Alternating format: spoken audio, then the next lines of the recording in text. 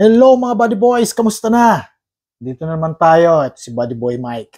Alam niyo ba yung may bagong ano eh, may bagong uh, shocks for Aerox and for X-Max. Pag out of the box galing Thailand, yung mga Aerox, um, mga Yamaha scooters, KYB talaga nakalagay. Dito sa Pilipinas, hindi ko alam.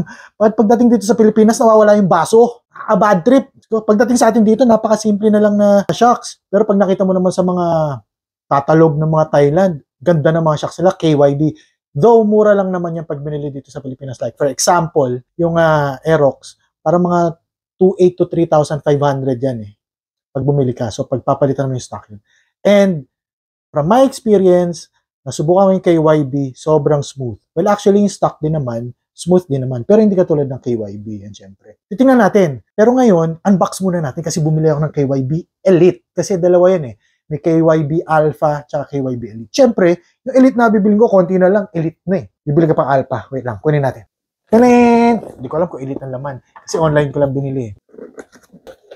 Sealed po. Pinagkaiba ng KYB Elite tsaka ng uh, ah, KYB Alpha. Ang Elite, do alam ko, adjustable din naman yung Alpha. Ang Elite naman, meron siyang adjustment sa ilalim ng smoothness, tsaka yung pagka-stiff nung gusto mong play ng, ng shocks mo sa likod.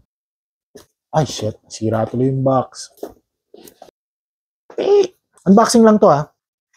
Pabuksan na. Pero natin kasi ba biglang bumagsak. So legit, KYB, performance, KYB gas shock absorber. Hmm. May ano siya, hindi ko maintindihan eh. Thailand siguro to. Pero alam ko Japan technology din ng KYB. Pero before that, napanood ko na commercial. Kung napanood nyo, uh, nandun lahat yung itsura. So titingnan natin. Ha? Alam mo, para sa shocks, magaang siya. Tingnan natin kung elite. Elite? Legit na elite. Oh my God. Tama. Ito yung adjuster niya sa ilalim mo. Oh. oh. Meron ka pang takip. Ano pang... Ganda mga body boys! Oh! Ganda! Eh, tsura lang ha. Hindi pa natin natitesting. Angas yun. Oh, Binili ko to mga 13,500. Pero sa mga ibang uh, stores, may mga 12,500 to 13,000. Pero ako 13,500 kasi gusto ko na magkaroon eh. Pati ang hirap na maghanap niya nito. Laging sold out. So, I'm one of the first. So, check natin. Ako ang magkakabit nito sa Aerox ko. DIY natin to. Okay? Samahan niyo rin ako sa pag-DIY ko. So, KYB Elite, Performance Shocks. Yan o. Ganda. Uy, bago. Hintayin niyo yung DIY ko. Ako gagawa nito. Kasi marunong din ako sa motor. Ayaw sagutin na isang mekaniko. Theory to eh. Nasa isang vlog ko. Yun nga, si Boy na lang. Rolly Boy! Nilakad ka bukas? Nilakad ka bukas?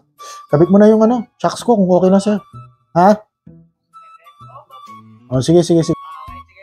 Ako, ako gagawa.